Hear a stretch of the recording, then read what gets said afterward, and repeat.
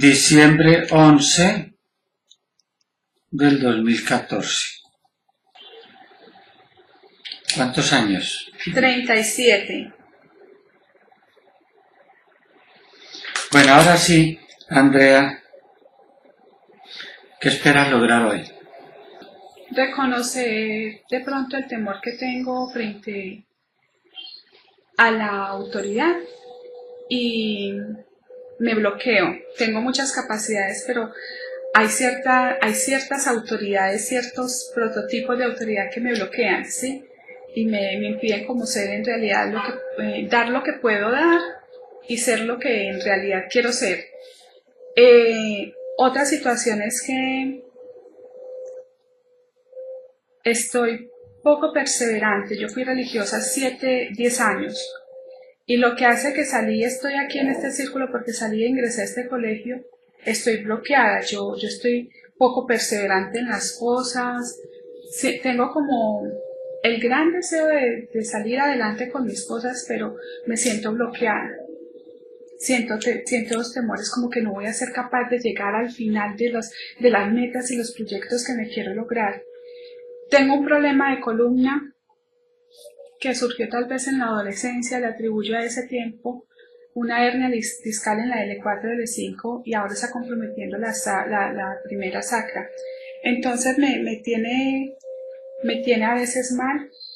Hago dietas para adelgazar y pero inmediatamente es una ansiedad que manejo, que quiero es estar comiendo y aunque me limite la comida, siento que me, engordo, me engordo y acabé, mi niña tiene ocho meses, acaba de tener una bebé y me siento a veces muy limitada porque yo me he quedado sin caminar hasta un mes. Entonces esos son temores que yo tengo frente a, a mi niña también que la pueda cuidar, que pueda jugar con ella, una cantidad de cosas que, que me, me, me, tienen mal y me ponen mal. Y estoy haciendo aquí un gran esfuerzo por, por superar esa, esa, esos temores de que no pueda yo brindarle a mi niña en cuanto a mi estado físico lo mejor. Sigo hablando de otro disco para dar. Eh, primera vez en la vida que, que pues, que, que, me toca enfrentar la, la, la realidad de, de verme económicamente tan estrecha porque le digo, yo no sé si son esas mismas situaciones. Estoy envuelta adquiriendo una cantidad de compromisos que no supe a qué hora fue eso, ¿sí? Y no, y no son cosas mal gastadas, ¿sí? Sencillamente fueron malas malos movimientos y que, y que como ahora con la, la, atención de mi bebé, tengo renunciado a una jornada de la tarde, entonces lógicamente el sueldo disminuyó. Entonces eso me bloquea, verme como tan estrecha que uno no, no tenga lo que no se merece en el momento, eso a mí me, me pone muy mal. Yo veo el esfuerzo de mi esposo que también está fallando su situación económica porque hubo, ha mejorado mucho la empresa en la que él está hace más de 10 años. ¿Y qué trabaja? Él trabaja en la parte textil. Yo lo conocí a él en un club y, lo, y, y está en la parte textil ahora, pero le digo que la empresa ha mejorado muchísimo. Él es contratista ya pero desafortunadamente no es, sin embargo uno no le puede quejar, pero lo que le digo, esas, esos compromisos hacen que todo se absorba y que nos llegue, llevemos a cabo nuestros proyectos. Entonces son situaciones que a mí me ponen mal y que a veces me bloquean y que mis proyectos y mis metas, el emprender, a veces me veo como que no me arriesgo a hacer, a dar más de lo que yo tengo. Entonces eso para mí ha sido frustrante. La relación con mi mamá, mi mamá y yo somos agua y aceite eh, mi mamá no es una persona profesional, ella no, eh, el nivel de cultura de ella es bajo, sin embargo tiene un don de gente especial, pero somos el agua y el aceite, ella, ella en nuestra manera, en nuestra personalidad choca rotundamente con, con, la de ella por muchas cosas y tal vez porque yo no le perdoné, eh, inconscientemente no le perdonaba a ella su estilo de vida que, que tuvo en un tiempo hoy en día me, me, pongo a mirar y fue la necesidad que, que la llevó a ella a orar como oró, no soy quien para juzgarla y gracias a Dios me tiene acá, ¿cierto? Pues sin embargo, siento que todavía esas situaciones me, me molestan mucho y que me tuvo que dejar con mi tía a la edad de, de, de, de los nueve años y que todo se sabe que la familia a veces es cruel me decían que ella me había abandonado, ¿sí? Entonces son situaciones que de una u otra manera le hacen a uno, le trabajan a uno allá inconscientemente. Eh, ¿Cuántos años tenías? nueve años. ¿Y cómo llama la tía? Eh, Fabiola, mi tía Fabiola, me quedé con ellos y mi abuelita Virgelina, güey. Una situación muy difícil porque es una familia muy compleja. Mi mamá, gracias al Señor, nos sacó de allá de una u otra manera, porque mi mamá, al fin y al cabo, se separó de mi papá, el papá murió. Bueno, son situaciones muy complejas que uno dice, gracias al Señor estamos aquí, y- pero con todas estas falencias, ¿cierto? Y uno tiene, yo, yo siempre he pensado que, que uno tiene derecho a vivir mejor, a estar mejor emocionalmente para que uno pueda emprender de ahí en adelante tantas cosas en la vida a las cuales tenemos derecho y nos merecemos. ¿Y en qué comunidad estuviste? En Hijas de Nuestra Señora de la Misericordia, es una comunidad colombiana fundada por Monseñor Miguel Ángel Willes. Así. Sí. ¿Y llegaste a ser novicia? Eh, Juniora iba a hacer los votos perpetuos, pero vi que no porque yo no sirvo para, para estar en un lugar, me ha tocado últimamente, que eso para mí es muy duro, yo no sirvo para donde, estar en un lugar donde uno se le acabó la risa, ni con alguien cuando uno ya se le acabó la risa. No, ya, es que uno nació para ser feliz. Uno porque tiene que atar a cosas o a personas o a lugares cuando uno no, no está desarrollando en realidad a plenitud su vida. Sí, entonces amo mucho a mis hermanas, amé mucho la vida religiosa, pero vi que no, que no era el espacio, Por ahí no era. por ahí no era. Diez años estuve allá y es que con las puertas abiertas, que para cuando pueda volver, yo ya no me veo por allá. Ay, hágale vocaciones tardías. Ah, Yo le ayudo. ah, no, y ahora con una hijita, no, eso es otro cuento. Eh, son situaciones difíciles, ahora la hijita devenga mucho, mucho tiempo. Hágale, le consigo un hábito nuevo. Ay, no, no deje así. Ahora estoy emocionada. Antes, con la ayuda del Señor, nos permita tener otro, otro compañero para, para Elizabeth. Ah, bueno. Sí, sí, definitivamente. Mm, no sé qué más le digo. Tristezas. Ay, No poder darle a mi mamá, no poder tener nosotros lo que le decía ahorita, eh, la, manera de, estar mejor, de tener tranquilidad en cuanto a lo económico y no poder dar a mi mamá eh, una mejor calidad de vida, aunque ella vive bien, ¿sí? En medio de sus falencias, en medio de tantas limitaciones que hay, sobre todo a nivel, yo no hablo tanto de las económicas en el sentido de ella, sino a nivel personal. Tiene tantas limitaciones que, que la bloquean y que no le permiten ser del temor a llegar a la edad adulta. Ya le teme mucho a eso. Entonces son cosas que yo quisiera tener la manera de tener a mi mamá bien, de estar bien con ella, de, de, de poder que ella se sienta bien y sobre todo de tenerla al lado y darle todo el afecto sin la preocupación de que, de que vamos a estar chocando, somos lo que, le, lo que le digo, somos el agua y el aceite. Porque, pero he aprendido poco a poco a aceptarla, ¿sí? Porque eso ha sido un proceso, el aceptarle a ella su manera de ser. Mamá, le, mamá es la mujer relajada que, que, que si le cayó la casa, le cayó todo, ah, no, ella es tranquila. Y si vas a visitarla, se tiende y se sienta contigo desde las 7 de la mañana hasta la hora que sea. Ella es muy tranquila en ese sentido. En cambio, yo soy más estresada por eso, pero mami, mira que hay que hacer esto, hay que hacer otro.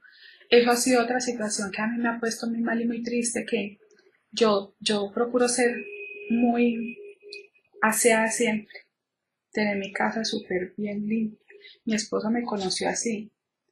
Y ver ahora que yo no puedo ponerme a trapear a barrer porque inmediatamente el dolor en la columna, en las piernas o en la pierna derecha sobre todo, que es donde se concentra más el dolor, le digo que eso para mí es frustrante. A veces me, me desespero tanto de yo ver mi, mis muebles con, con polvo que yo me comí porque me desespero, eso a mí me estresa. Entonces, dolor. En la pierna derecha se me refleja todo el dolor de la columna. Pierna derecha. todo. Pierna derecha, la- el muslo, todo y parte del pie aquí en esta parte aquí encima.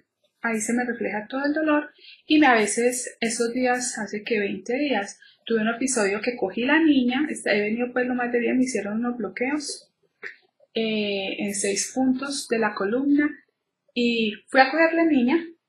Afortunadamente no, di dos pasos de la mitad de la cama y caí en la cama con la niña. Pero digo que quedé, yo me quedo así, tiesa totalmente, perdóname la expresión, pues que no me puedo mover porque me quedo ahí paralizada, que ni un dedo puedo mover. Yo lo único que hice fue sostener mi niña contra el pecho y ahí quieta. Entonces, a los gritos llamar, menos mal ahí están las cuñadas y todo, menos mal es tener, eh, ya llegaron, pero no, casi que no me enderezo. Casi que no me enderezo. Fue el último episodio, pues que tuve fuerte. He venido a raíz de, eso, de ese día o nuevamente con el dolor en la pierna, es esporádico, pero ha estado.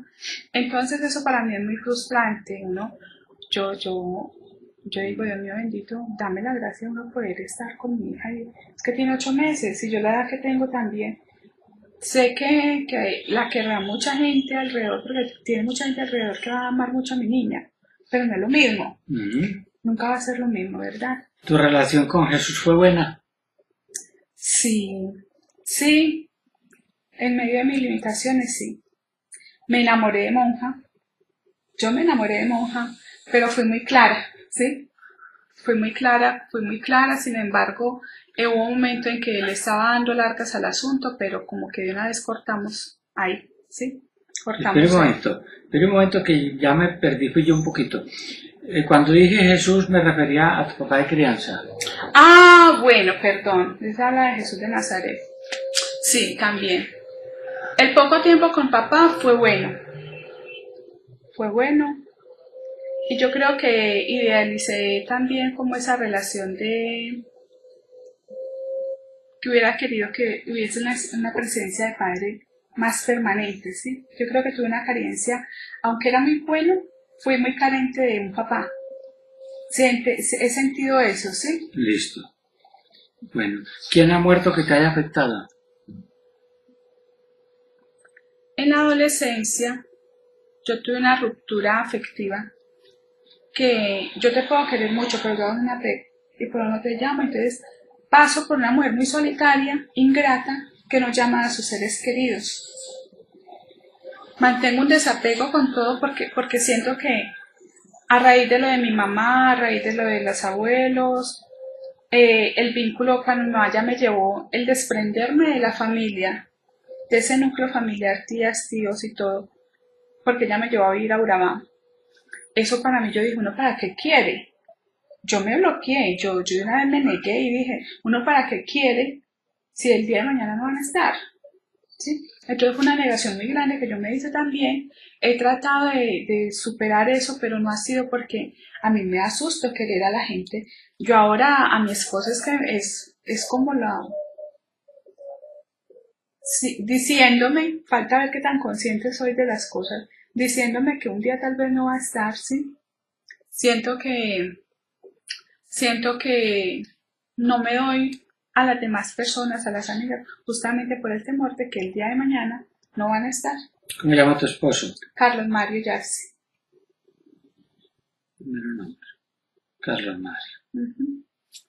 Entonces eso, eso, eso es lo que a veces me permite tener como unas relaciones fuertes también de, en, en cuanto a amistad. Y a, a mí a veces me pesa eso, porque yo digo, yo tengo muy buenas, muy buenas personas que están a mi alrededor, que quieren ser mis amigos, pero yo, yo cogeles inconscientemente, muy conscientemente cogeles pongo hasta aquí. Ay, vamos a la vamos- ay, no, no, no, no. Y otra cosa es que me gusta ser amplia con la gente, entonces a veces me veo limitada en mis recursos económicos y yo digo, no, pues uno cada ratico que le estén brindando a uno. Ah, pero es que vos sos boba, que no, yo no, no, no. Entonces eso también me limita a que entre a entablar una relación más con las personas que están así, que, que, que son mis amigas y que y mis amigos, pero que yo ahí no le pongo la barrera. Listo. Entonces paso por ingrata. Eso así, ¿qué más será? Los abuelos, ¿cómo era la relación con ellos? Bien, sobre todo los, los maternos, porque los paternos no los conocí.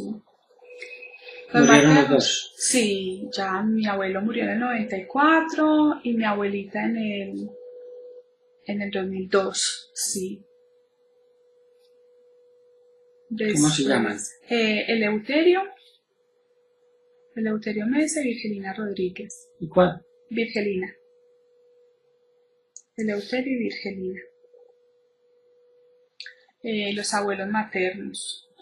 Eran de aquí en Medellín, ¿o de dónde? No, ellos eran, mi abuelita era de Barbosa y mi papito de Copacabana. Eh, pero en las circunstancias, en esa época, fueron a dar a, Segovia. Yo soy nacida en Segovia. Aterrador porque la familia mía, la familia de mi mamá, tuvo, tuvo la manera de, vivir muy bien. Papito tenía una finca enorme, pero desafortunadamente las condiciones, sabe que ese pueblo es aterrador en cuanto al oro, en cuanto a a la, al, alcohol y en cuanto a la promiscuidad, pues porque eso es una cosa de locos allá. Desafortunadamente mi familia, la familia de mi mamá, mis tíos, mis abuelos, fueron víctimas de eso.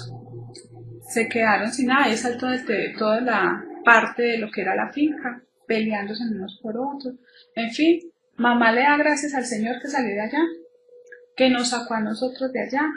Una familia con unas situaciones conflictivas muy grandes. Esa familia mía, por parte de mi mamá, es, esa familia es un conflicto. Eh, personas muy pocas para las cosas de, de, superarse y todo eso. Entonces, a mí no me provoca ir por allá. Mi abuela murió, fui a, en el 2002, fui, es la última vez que he por allá.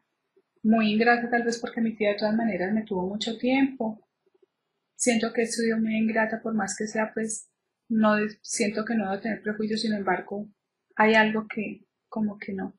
Porque es que uno va, yo siempre he dicho que uno va, yo no soy mujer de estar diciendo vulgaridades, de tener una, una maneras complejas de vivir, y ellos las tienen, entonces uno para qué se va a ir a contaminar. A veces pienso eso, no sé si estaré errada, el sentido de gratitud tiene que estar en lo que, lo que más debe resaltar pues en la vida de uno, sin embargo no lo he hecho. Todo eso, todo eso es el me remordimiento. Listo, vamos a comenzar. bueno, quiero explicar algo de la obesidad. De la botella, ah, la obesidad. Asumamos que este es el estómago. El alimento entra por la parte superior, sale por la inferior.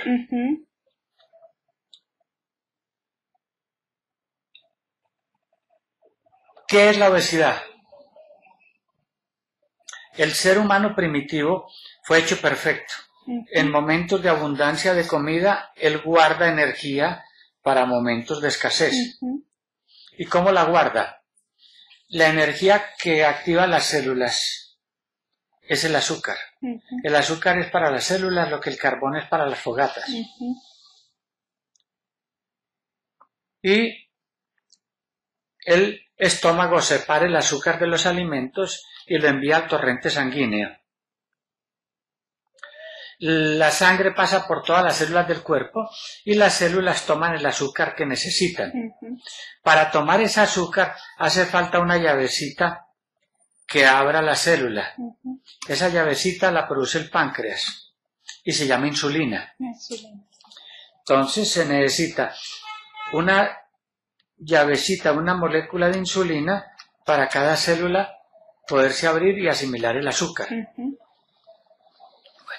El azúcar excedente, el organismo la transforma en grasa y la guarda en unas células depósito que se llaman adipocitos. Los adipocitos son elásticos. Se expanden. Se expanden y se contraen cuando entregan la grasa que tienen. Supongamos que es diciembre y te excediste en el azúcar, en las comidas, en las grasas, en las harinas.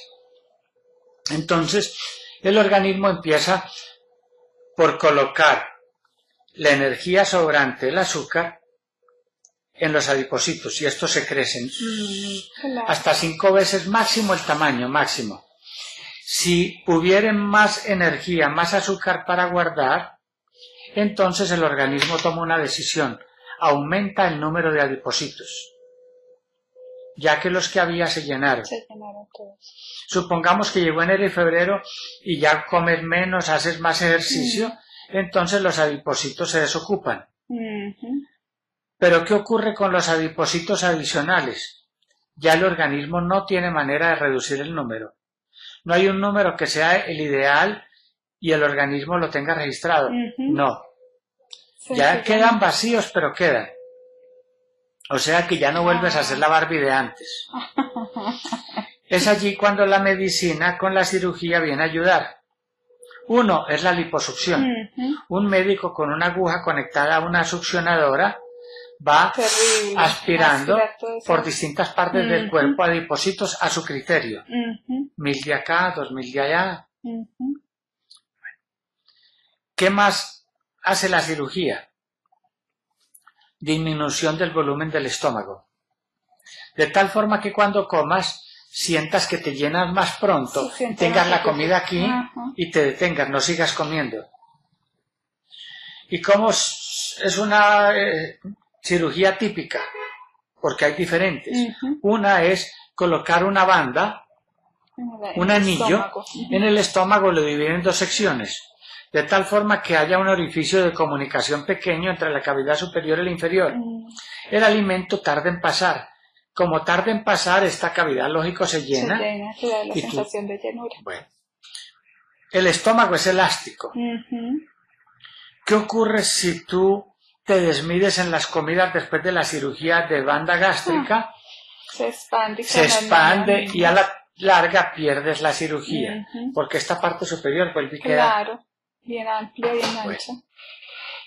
La psicología viene a ayudar a tratar de engañar al cerebro, convencerlo de que el estómago fue operado, o recortado, o se le colocó un anillo gástrico.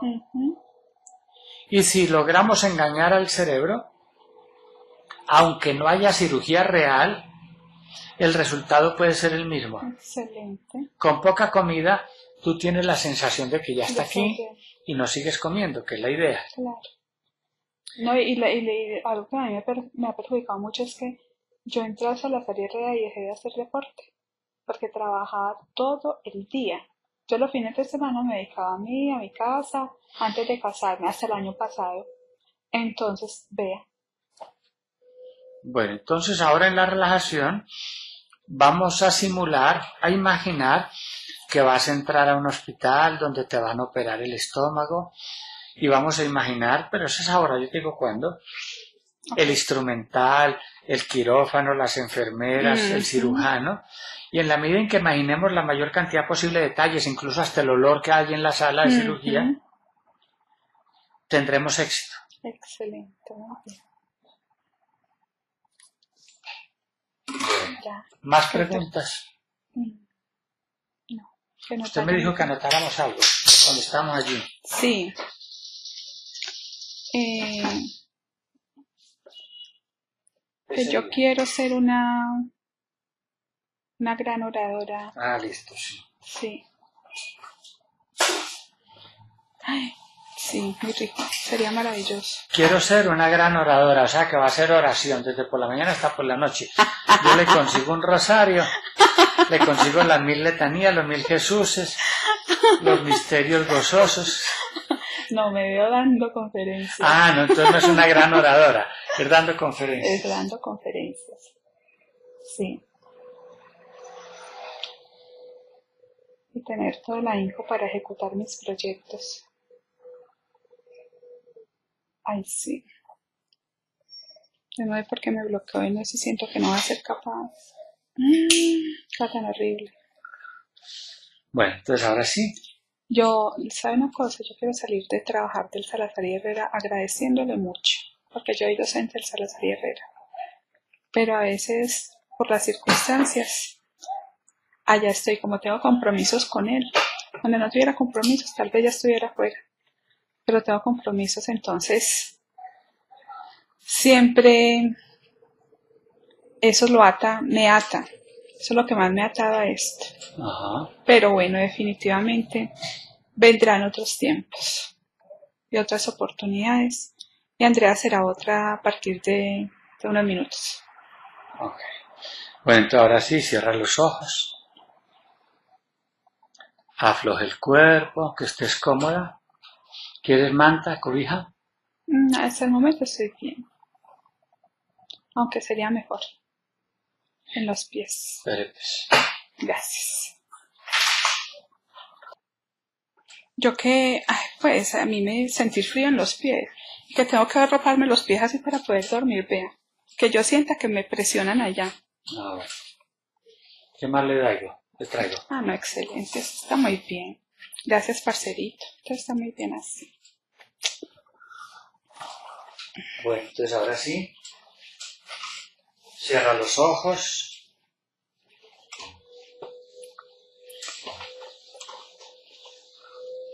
Afloje el cuerpo. Voy a colocar aquí este micrófono para escucharte mejor.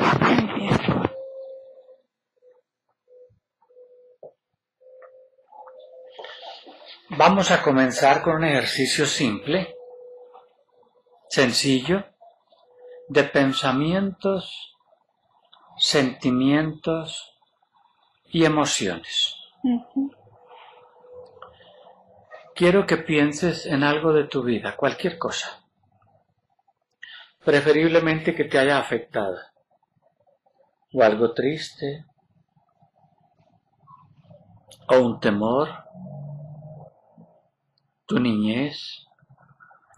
Y mientras tanto yo voy a contar desde 1 hasta 5. Al llegar a 5, tocaré tu frente y quiero que me digas eso, lo que estás pensando o sintiendo. Uno,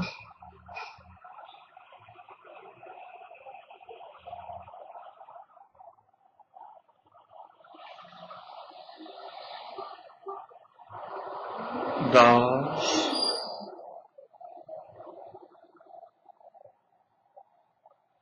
recuérdalo. Siéntelo. Tres.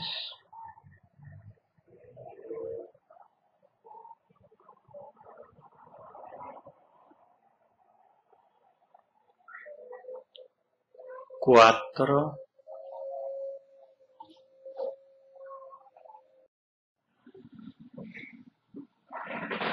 ¿Qué está sucediendo en ese momento?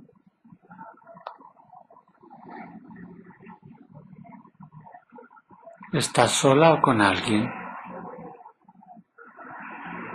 Sola. Estoy sola.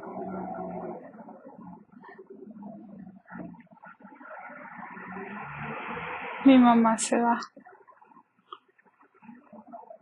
Mi mamá se va.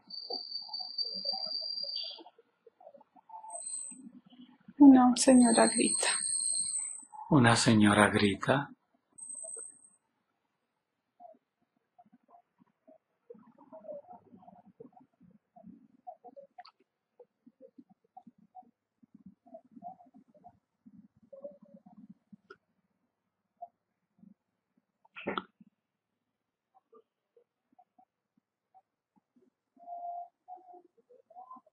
Me duele esa señora. Me duele esa señora.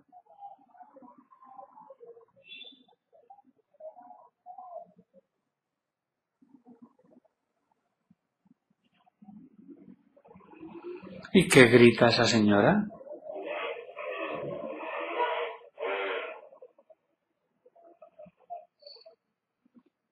No te vayas.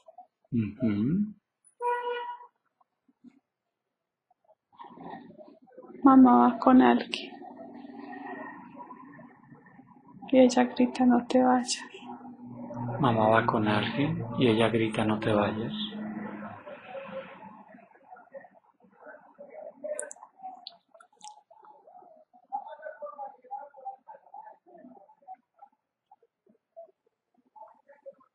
Mi mamá me dejó. Ujú.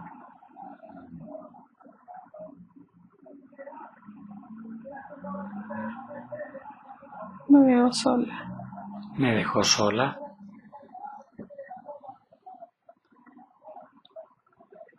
Era de madrugada. Es de madrugada.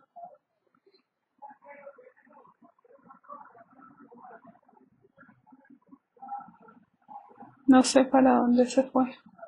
No sé para dónde se fue.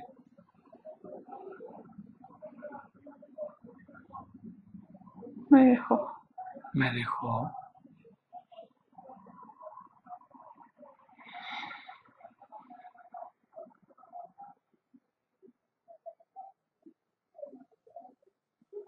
¿Estás pequeña? Una niña. ¿Qué edad tienes? Cumplía años esos días. Tenía nueve años. Tenía nueve años. Cumplía. Iba a cumplir diez. Fue viernes. Viernes iba a cumplir diez. Viernes mamá se fue.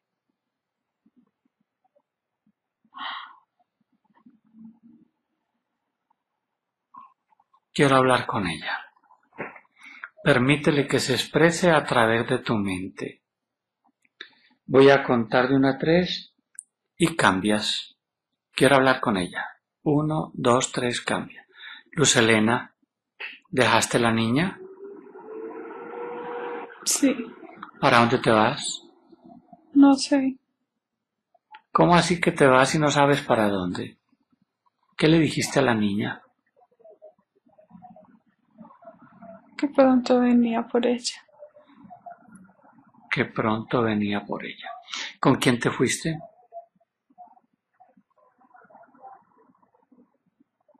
Con un hombre. Con un hombre. Ujú. Y cuando te ibas a ir con ese hombre, ¿no estabas pensando que valía más tu hija? ¿Por qué tomaste esa decisión de irte con un desconocido?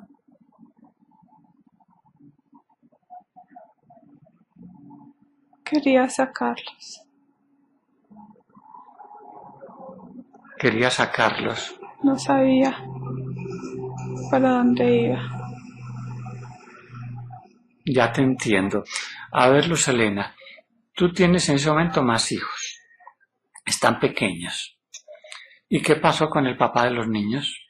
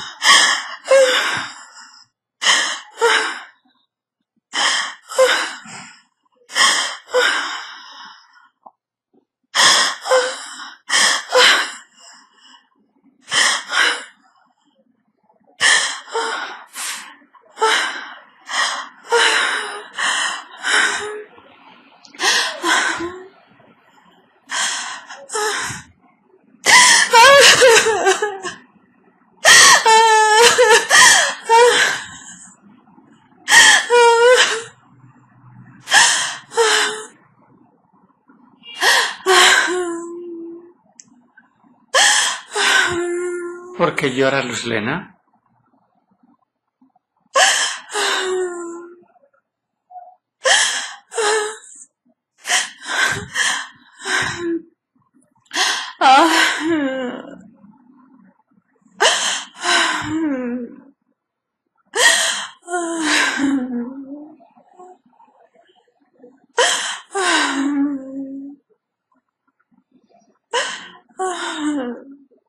¿Mm?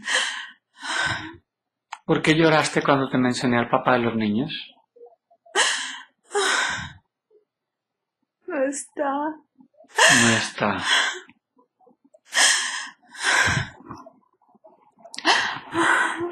O sea que tú quedaste sola con los niños.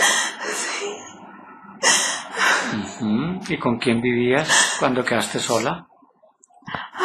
¿Con tu mamá? ¿O con quién? Con mi hermana. Con tu hermana.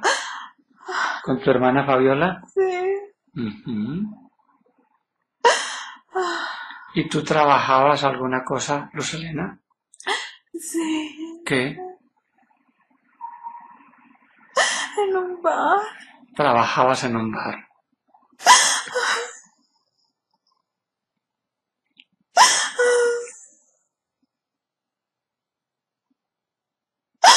Luz Elena, saca toda esa tristeza. Llora todo lo que hoy quieras llorar. Libera tu alma de esa emoción.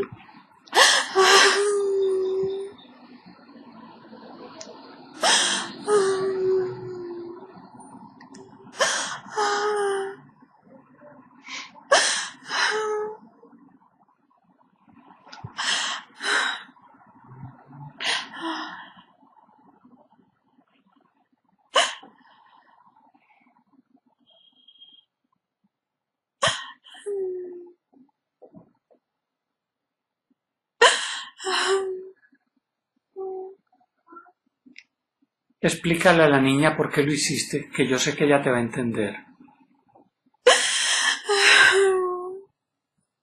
No quiero que se críe allá. No quiero. Quiero llevarla para otro lado, pero no puedo. Es que no sé para dónde voy. ¿Qué te prometió ese hombre, Lucelena?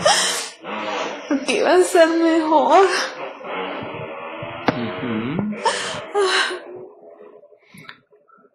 ¿Y le ves sinceridad lo que dice? No. Entonces, si no le ves sincero, ¿para qué te vas a arriesgar? Tenía que salir de allá, no podías quedarme allá. No.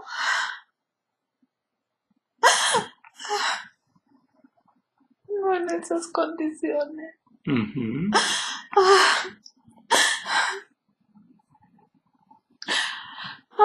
Entonces, Luz Elena, comencemos por partes. Como hubo mala comunicación con la niña, la niña se sintió mal, se sintió abandonada. A lo mejor si lo hubieras explicado, ya la niña tiene nueve años y con nueve años ella te entiende. Quisieras que te perdone por no haberle expresado lo que estabas pensando hacer. Bien, déjame con la niña, yo le pregunto. Andreita, ¿le perdonamos eso a la mami y un poquito más? Perdonémosla. Sí. Ay, yo retiro esa tristeza, yo retiro ese dolor. Vámonos, vámonos, tristeza. Vámonos, vámonos, vámonos, vámonos, vámonos, vámonos. Fuera. Ahora en ese espacio que acaba de quedar libre, coloca algo bonito, algo agradable, Puede ser un bosque, árboles, un lago, una cascada, mucha vegetación, un sol, un cielo azul.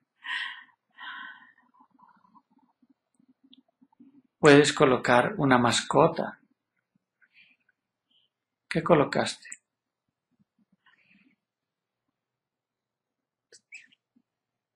Un perro y un caballo. Un perro y un caballo. Entonces ahora con ese perro, ese caballo, en tu corazón, ve profunda a ese momento en que tu mamá va a hacer algo. Yo quiero que me digas qué está sucediendo.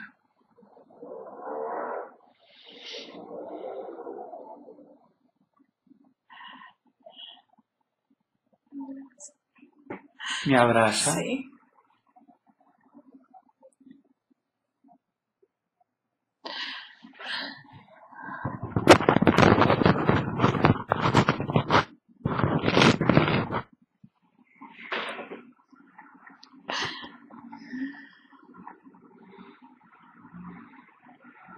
Pero ya no está.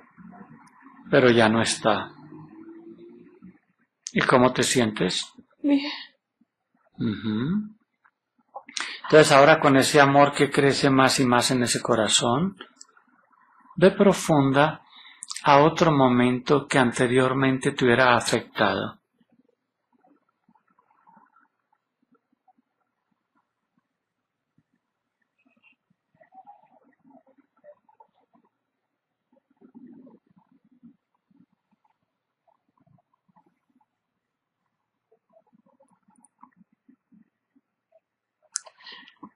Separarme de mi familia y llegar a una nueva tierra con nuevas personas. Separarme de mi familia y llegar a una nueva tierra con nuevas personas.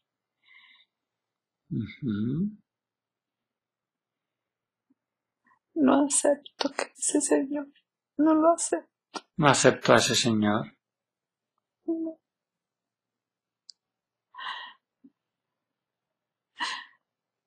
Trata mal a mi mamá.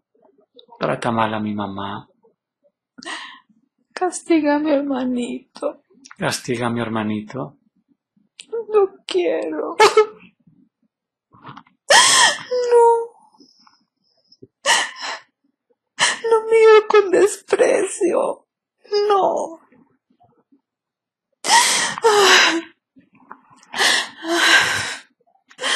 Mi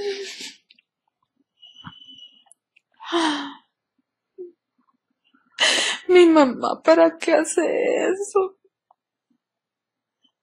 ¿Por qué aguanta tanto? ¿Por qué? No. Me enojo con ella.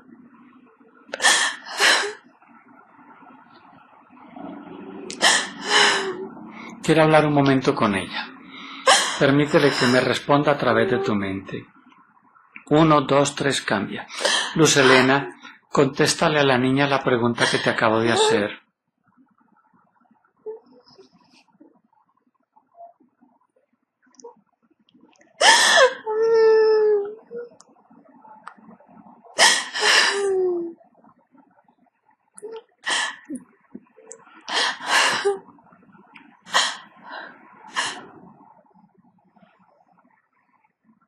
No quiero.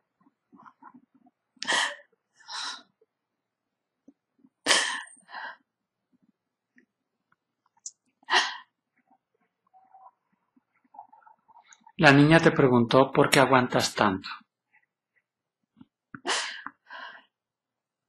Porque lo quiero. Porque lo quiero.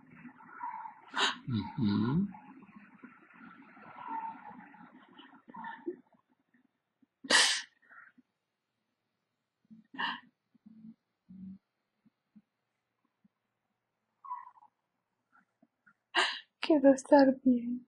Quiero estar bien.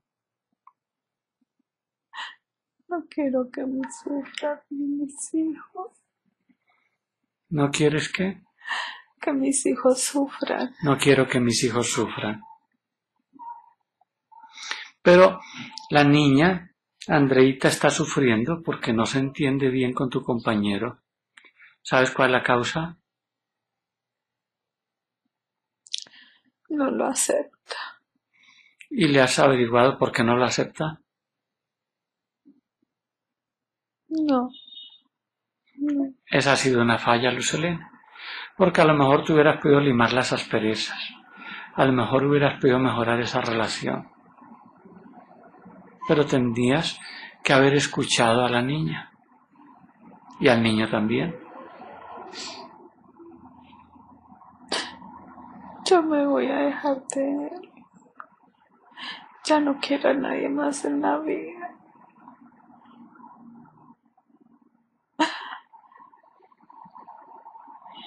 ¿Cómo se llama él, Lucelena? Alfonso. Ujú.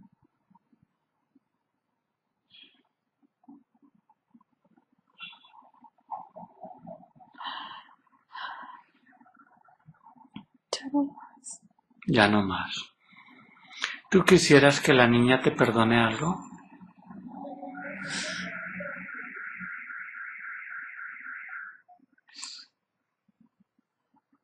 No haber estado todo el tiempo con ella.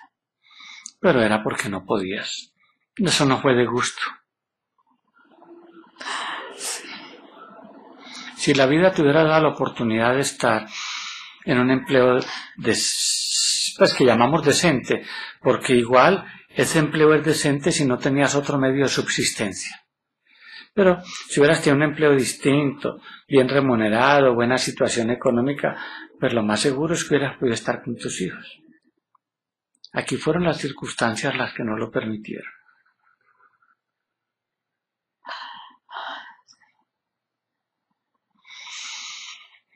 Bueno, déjame con la niña. Andreita, perdonamos eso a la mami y un poquito más. Sí. Entonces perdonémosla. Su dolor, esa tristeza, yo lo retiro.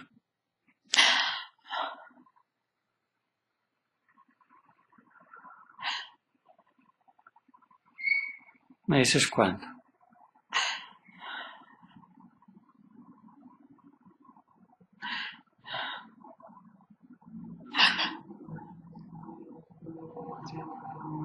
¿Ya? Vámonos, vámonos, vámonos, vámonos, vámonos, fuera. Ahora en ese espacio que acaba de quedar libre, ¿qué quieres colocar? Algo bonito, agradable, feliz, positivo. A mi esposo.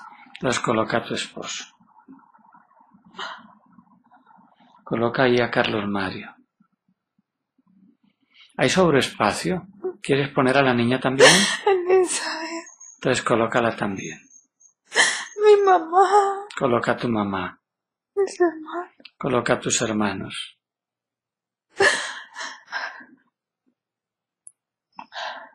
Mi sobrina. Tu sobrina. Mi suegra. Mi suegra.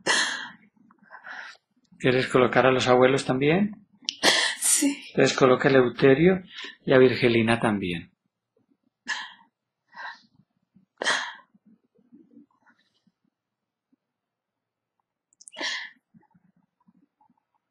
Ahora con toda esa multitud de amor que te acompaña, ve profunda otro momento que anteriormente te hubiera afectado.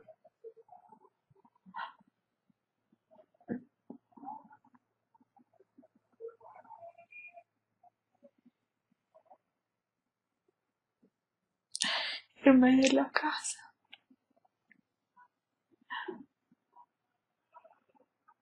¿De qué? Irme de la casa. Irme de la casa. No quería estar ahí. ¿Para dónde te fuiste? Para donde doña Lilian. Allá. No quería estar en la casa. ¿Y estabas en la casa de quién? De mi mamá. No quería estar ahí. Ajá. ¿Y doña Lilian te trata bien? Sí, mucho. Soy su hija.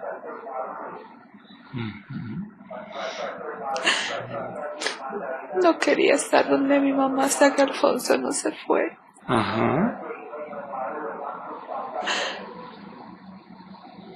Cuando Alfonso se fue, volví. Ok. Maravilloso. ¿Tienes dos mamás? ¿Tienes una mamá del útero y tienes una mamá del corazón? Muy poquitas tienen dos mamás.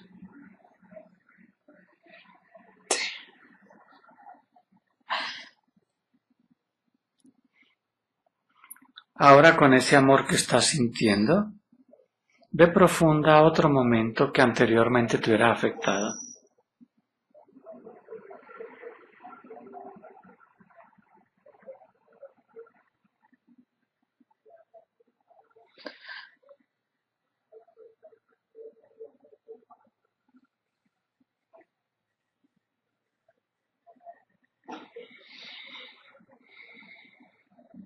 Estar como estamos económicamente me afecta mucho. Trabajar en Salazar cuando no quiero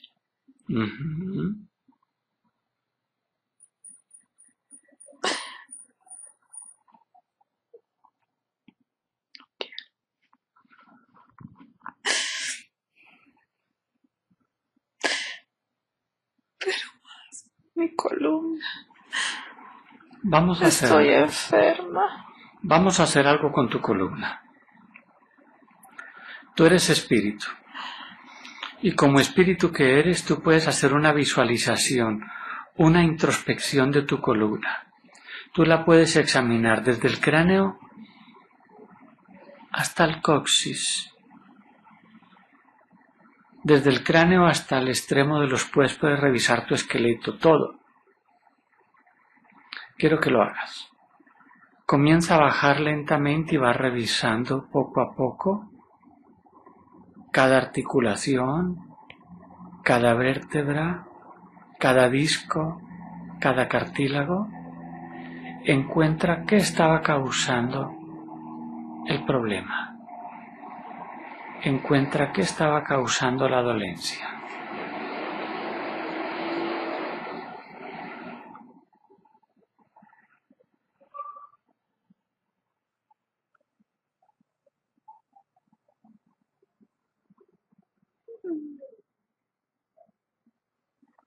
¿Ya lo encontraste?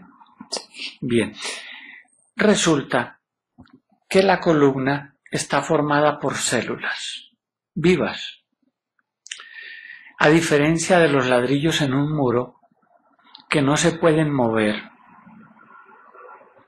las células en la columna sí, porque son seres vivos y se pueden reacomodar. Incluso el organismo va cambiando periódicamente todo el paquete celular. Células nuevas entran a ocupar el puesto de las células ya ancianas. Entonces quiero que comiences a reacomodar lo que haya que acomodar. Mueve lo que haya que mover. Ajusta lo que haya que ajustar. Si hay que retirar algo, retíralo. Si hay que unir, une. Y comienza a aplicar ese bálsamo mágico de sanación donde sea necesario. Ese bálsamo es maravilloso. Es un potente anestésico. Retira el dolor. Es un potente cicatrizante. Revitalizador celular. Desbloquea las energías retenidas y optimiza el funcionamiento energético. Entonces, comienza a aplicar ese bálsamo en cada célula, en cada nervio, en cada músculo. Si hay que retirar algo, retíralo. Si hay que mover, mueve. Si hay que ajustar, ajusta. Si hay que retirar algo, retíralo. Y vas aplicando ese bálsamo mágico sanador donde sea necesario. Ese bálsamo es un revitalizador celular, es un potente anestésico.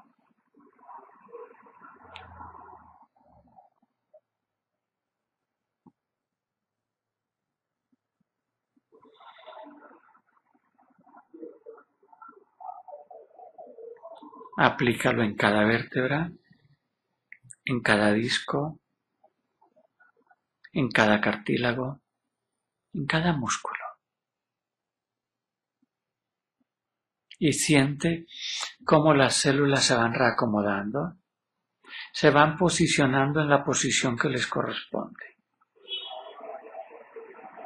Porque son células.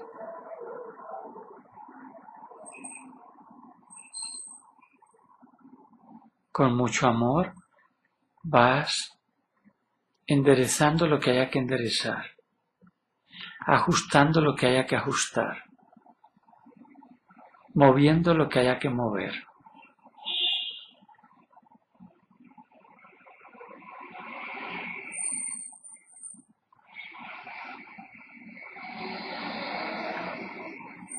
Y vas limpiando con ese bálsamo cada célula, cada nervio, cada músculo, cada disco, cada tendón todo lo vas limpiando.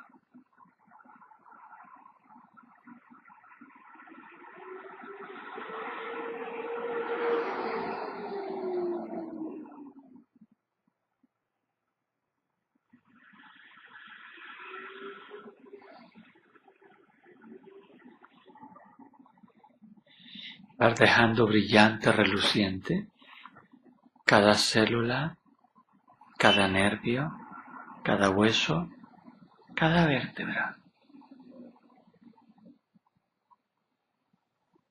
Ajusta lo que haya que ajustar, mueve lo que haya que mover y va retirando el dolor, va sanando.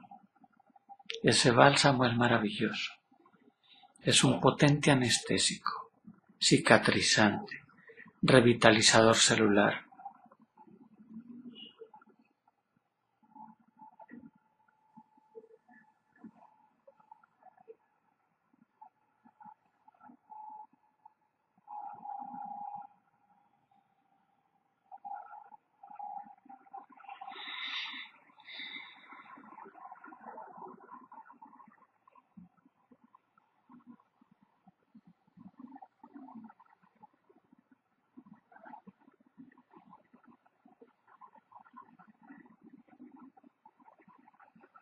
¿Cómo vas?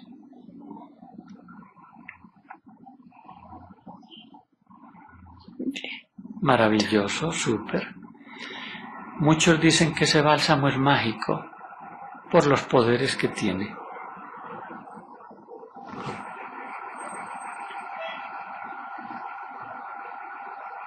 Reacomoda todo lo que haya que acomodar. Mueve donde haya que mover. Aplique el bálsamo donde sea necesario.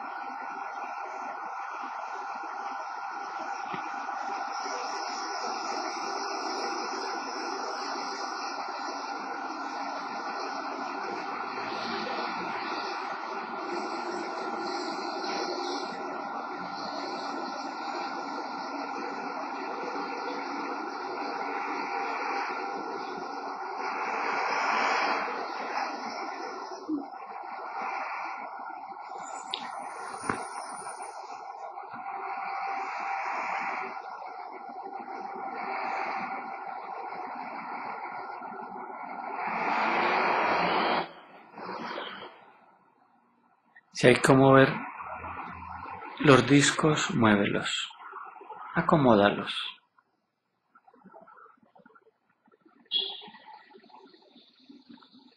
Ese bálsamo también es un extraordinario lubricante de discos, de articulaciones.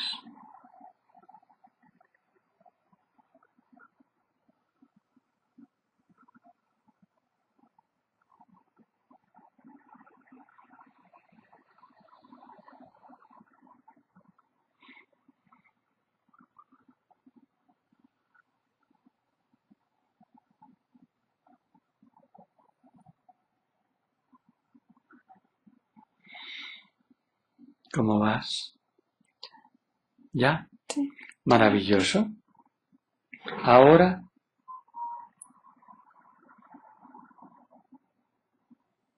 ve a un momento feliz para que disfrutes por un momento esa alegría. Puede ser en la vida actual o puede ser en una vida pasada en la que haya sido hombre, mujer o extraterrestre. Encuentra una vida feliz y disfrútala. Tú eres espíritu. Este cuerpo es temporal. Este cuerpo es un cascarón simplemente. Entonces, como espíritu viaja en el tiempo y encuentra una vida muy feliz, en la que haya sido hombre, mujer o extraterrestre.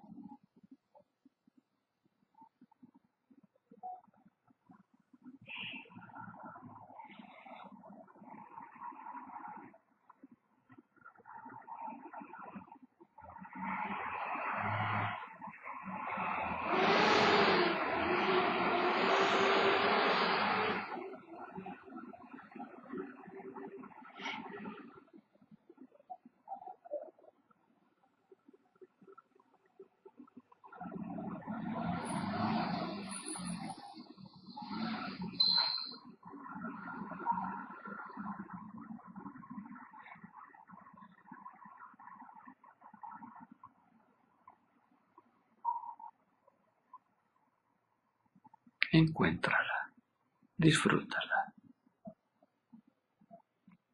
gózala.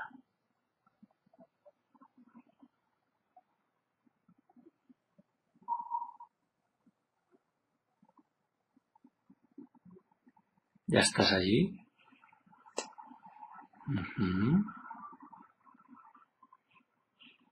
Compartes alegría conmigo. ¿Cómo eres allí? Feliz. Soy feliz. Me río todo el tiempo. Me río todo el tiempo. ¿Eres hombre o mujer? Mujer. ¿Y cómo eres?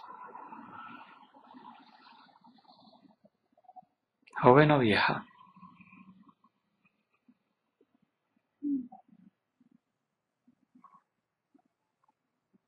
Ni joven ni vieja. Ni joven ni vieja. ¿Casada o soltera? Casa. ¿Tienes hijos? No todavía. ¿Vives en el campo o en alguna ciudad? La ciudad. ¿Y qué nacionalidad tienes allí? Colombiana. ¿Y cómo te llamas? Andrea. Ah, qué rico estás en la vida actual. Disfrútala, gózala. Estás en una vida feliz en Colombia y te llamas Andrea. ¿Tienes muchos amigos? No muchos. Lo importante es que eres feliz. ¿Y piensas tener familia pronto? Sí. Ujú, Qué rico.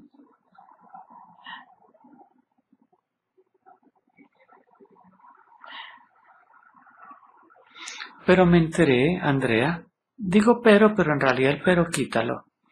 Me enteré que te van a hacer una cirugía del estómago, que ya tienen todo preparado en el hospital. Me dijeron que es una cirugía muy segura porque la practican mucho allí en el hospital y que van a reducir el volumen de tu estómago.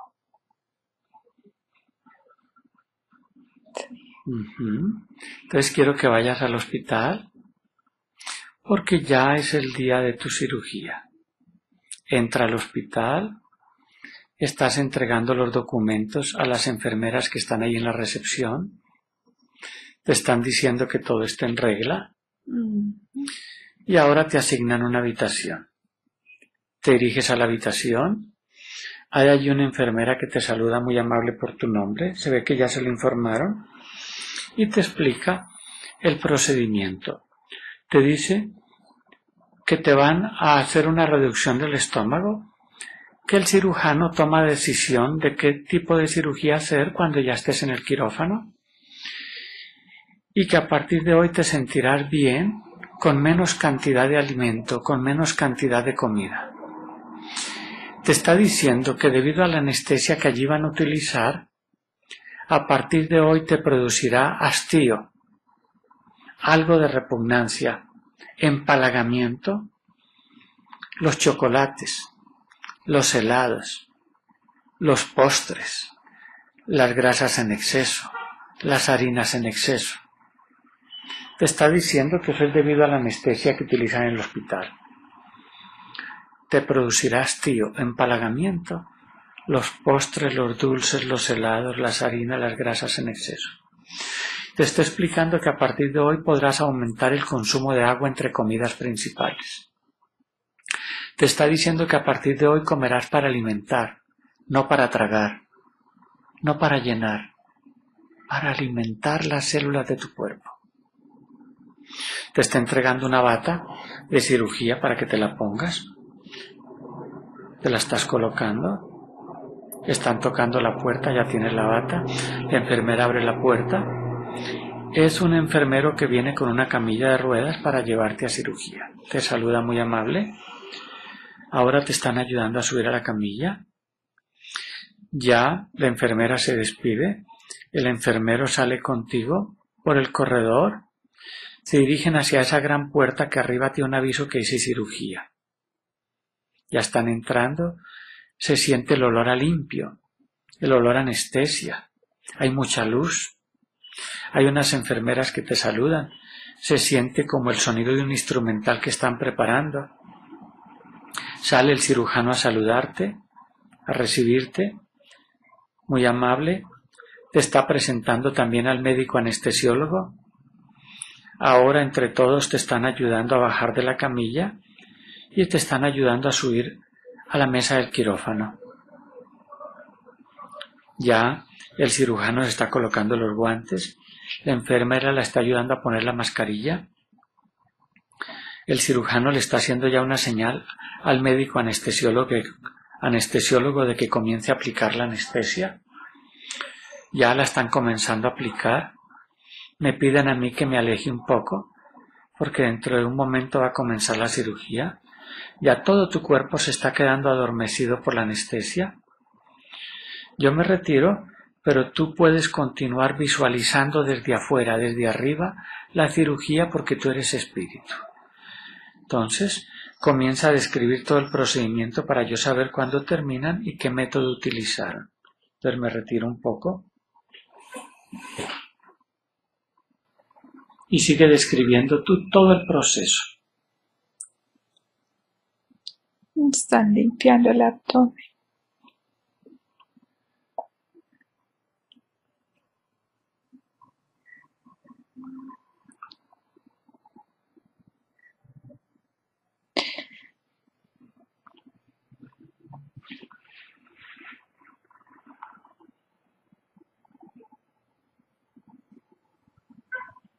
Me están abriendo el estómago.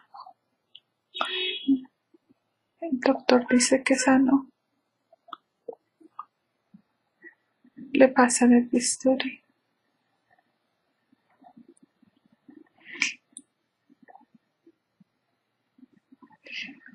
Hay mucho tejido adiposo.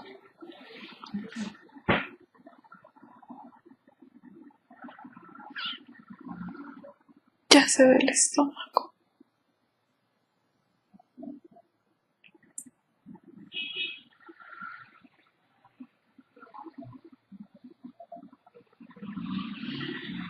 Limpia.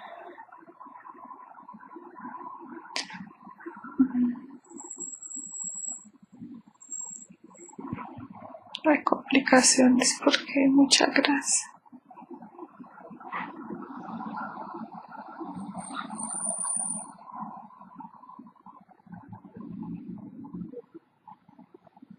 El médico recorta. A recortar.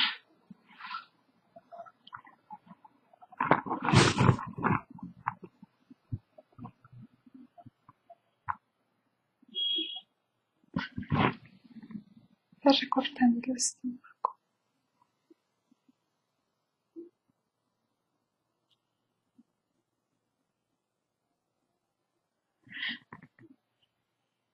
No sé, él limpia. No sé qué está haciendo.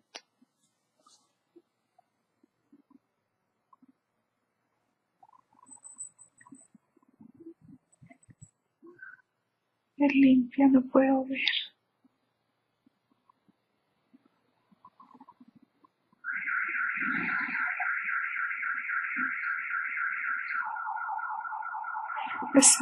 Recortando el estómago.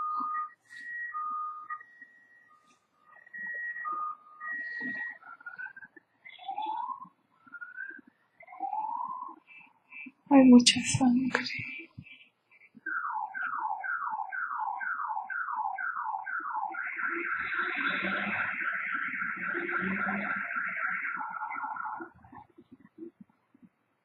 Limpia. Limpian mucho.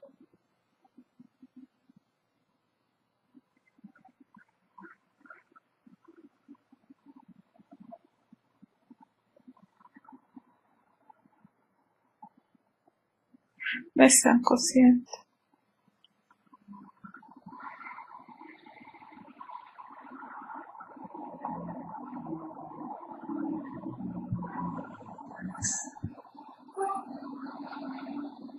El médico dice que todo va bien.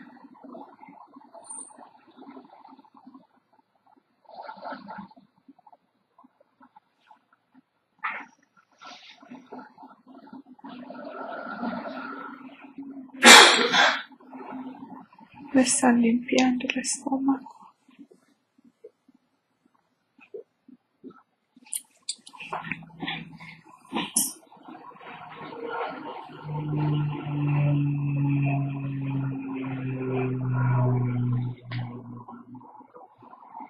Mira.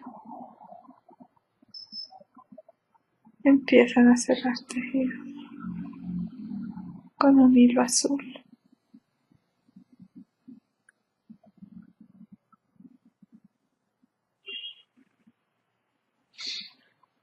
dice que fue un éxito. Esa termina en cerrar.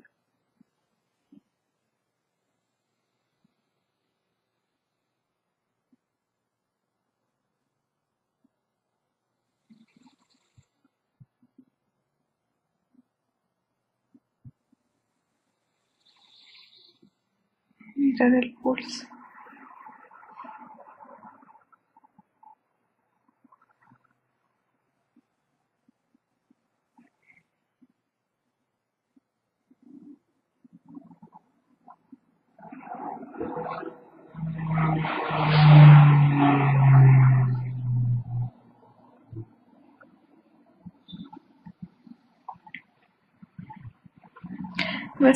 Limpiando.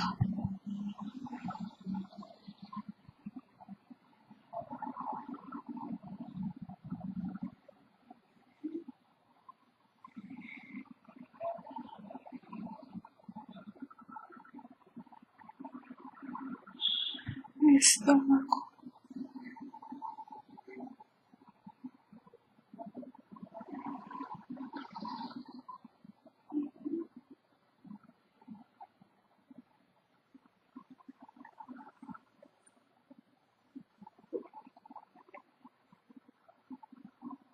Terminé de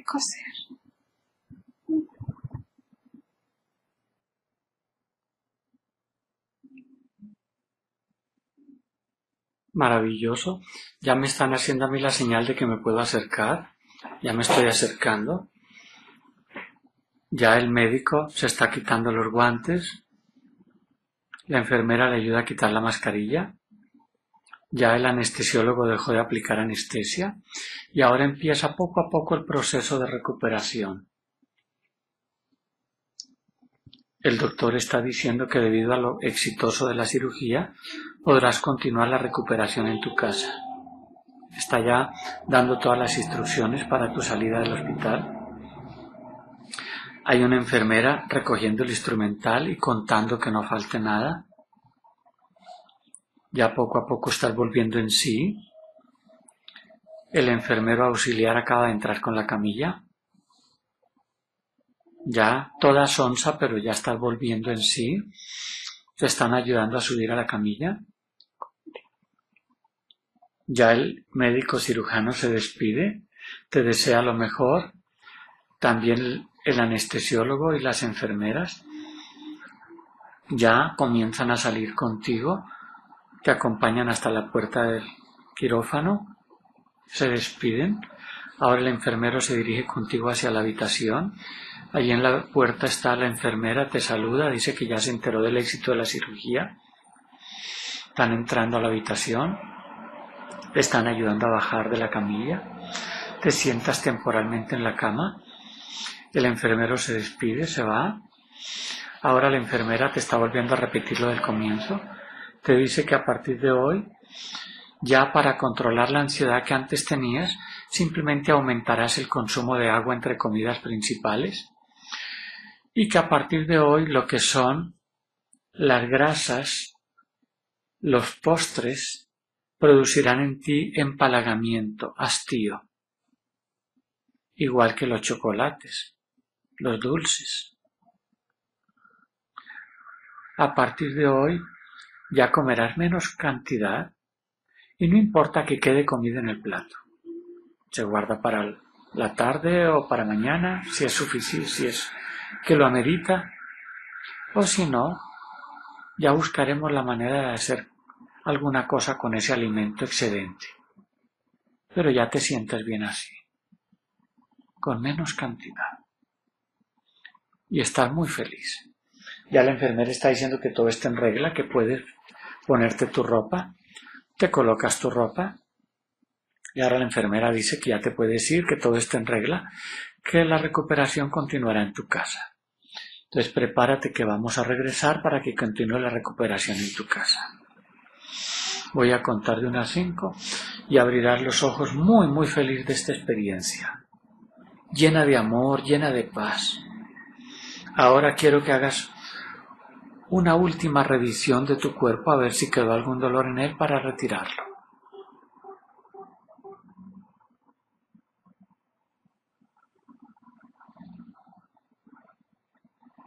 Mis ovarios. Entonces ya sabes cómo hacer. Encuentra qué estaba causando el dolor en los ovarios. El origen, la motivación. Y sana la causa.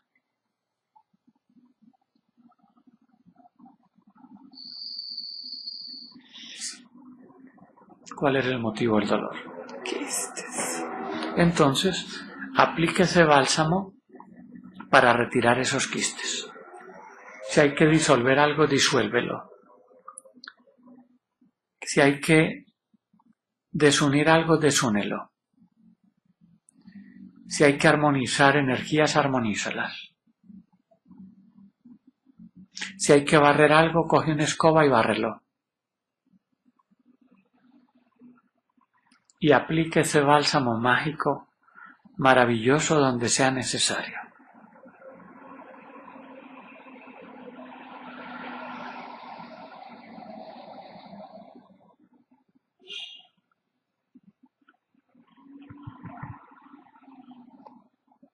Ese bálsamo es un potente anestésico, es cicatrizante, es revitalizador celular.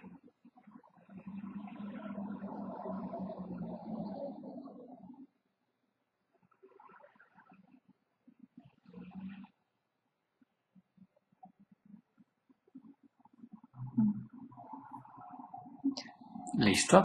Entonces ahora sí prepárate que vamos a regresar.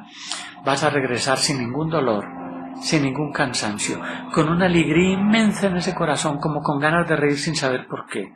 Pero es tanta la alegría que se desborda. Y cada día vas a estar más feliz, cada día vas a estar más saludable. Te sientes liviana.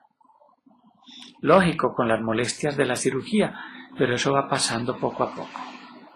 Uno, abrirás tus ojos al llegar a cinco y recuperarás el pleno control de tu mente y de tu cuerpo. Dos, te sientes feliz, súper contenta. Tres, te sientes liviana, ligera como una pluma. Cuatro, preparada que va a despertar la mujer más feliz de todo el universo. Muy feliz. Y cada día vas a estar más. Preparada. Cinco, despierta.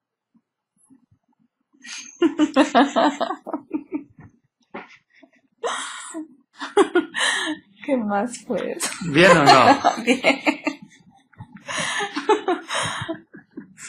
Ay, tan rico.